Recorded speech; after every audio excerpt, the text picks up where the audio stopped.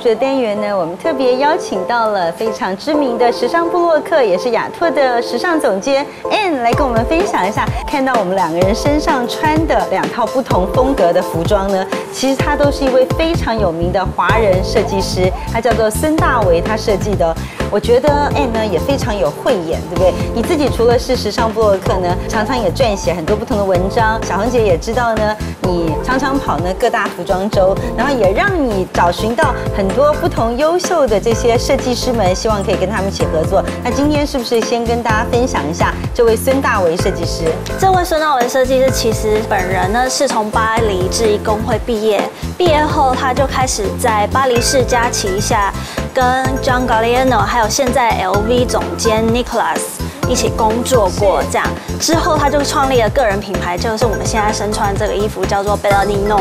那他也是一直留在巴黎进行这个设计的工作，对，品牌到现在已经有十年的时间了。OK，对，这个品牌其实还蛮受国际的名模喜欢。嗯那像是孙菲菲、奚梦瑶跟鞠晓雯，她都有身穿这个衣服参加中国各大时尚活动。是，对。那你真的也很有。慧眼想到跟他们合作是什么样的一个机缘，让你开始跟孙大伟合作的呢？因为我本人也是在巴黎的时装工会学院毕业的，那其实同校朋友刚好是孙大文先生的助理，第一助理这样子，所以我就有幸能够认识孙大伟先生，所以这样的机缘下，就是很有幸的能够引进这么高值的品牌来台湾。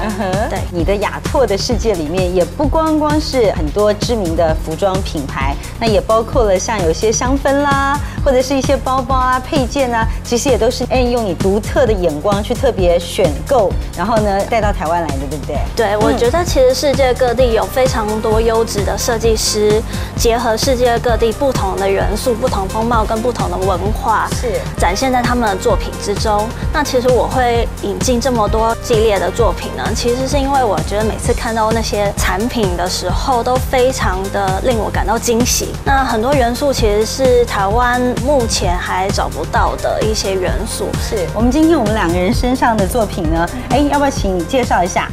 呃，这个线是贝拉尼弄今年的代表款，这件好 sexy 哦。对，那它的蕾丝非常的厉害，它是用跟 Dolce Gabbana 同样意大利的蕾丝的工作坊里面的一些布料去生产的。嗯，这件衣服非常会修身，基本上它很服帖，但是看起来就是每一个人，我觉得可能都有机会驾驭，并不是像我们看到的，就是因为有时候其实蕾丝那么贴身，不是那么容易穿。然后它在胸前。的部分，对，就看起来完全 see through，但是你又完全看不到，对，所有的隐秘性呢，其实不会让你一览无遗，真的好 sexy 哦。那小姐身上这一套呢？呃，小姐这套也是他们今年的元素，就其实是今年冬天大家都知道，其实灰格元素在秋冬的服装里面占了非常大的比例，对。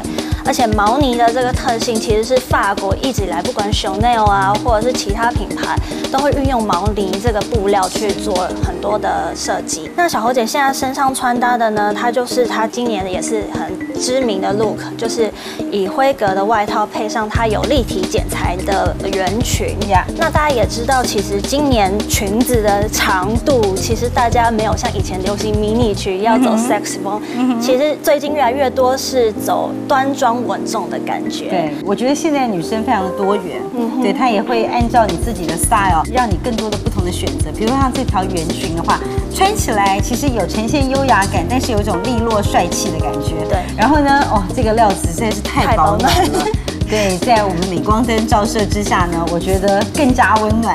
然后这件衣服的上衣呢，也会呈现一种帅气男孩的感觉，有点小中性风，但是呢，也非常的带有时尚前卫的感觉。OK，好，今天非常谢谢 Anne 为我们的介绍，也希望大家都喜欢这位孙大为设计师喽，谢谢。